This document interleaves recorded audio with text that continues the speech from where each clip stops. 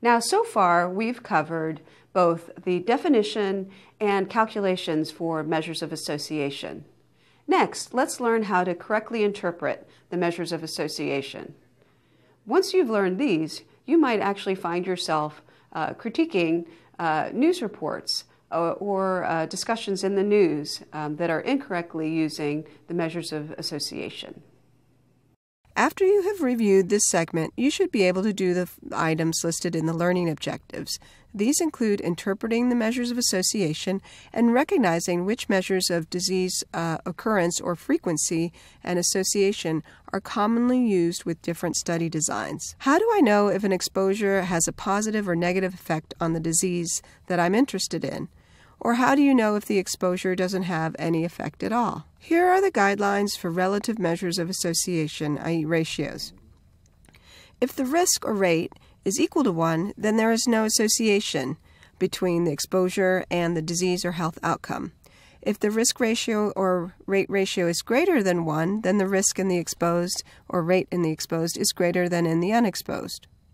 If the risk ratio or rate ratio is less than 1, then the risk in the exposed is lower than the unexposed.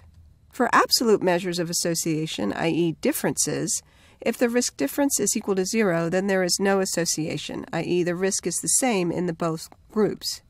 If the risk difference is greater than zero, then the risk in the exposed is greater than in the unexposed. And if the risk difference is less than zero, then the risk in the exposed is lower than in the unexposed. Note that the null value for differences is zero, while for the ratios the null value is 1.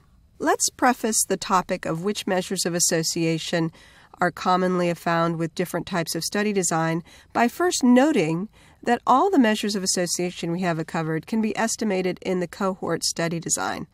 However, some of the other study designs are not able to directly calculate risks and rates as you can in the cohort.